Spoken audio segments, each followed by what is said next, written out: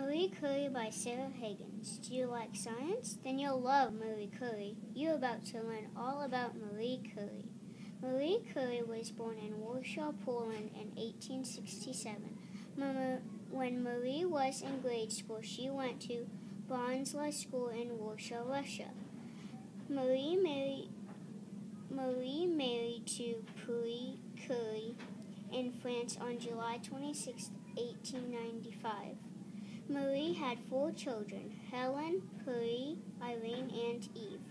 Marie became a governess after she went to college. When Marie was done being a governess, she became a scientist. Marie was famous for pioneering in radioactivity. Radioactivity is when metals like polonium and uranium were able to release energy into the air. She had great pioneering skills. Marie Curie was many. Marie Curie has many many interesting facts. She was she won a Nobel Prize in 1903. She met Albert Einstein when she was a scientist. She also spoke five languages. Last, Marie discovered a new metal called radium.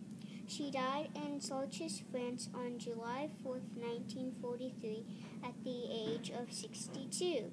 You should read about Marie Curie Marie Curie because she became a governess. That's a person who goes and lives with other families and teaches their children. She changed her name from Marie, Maria to Marie so she could study in Paris, France.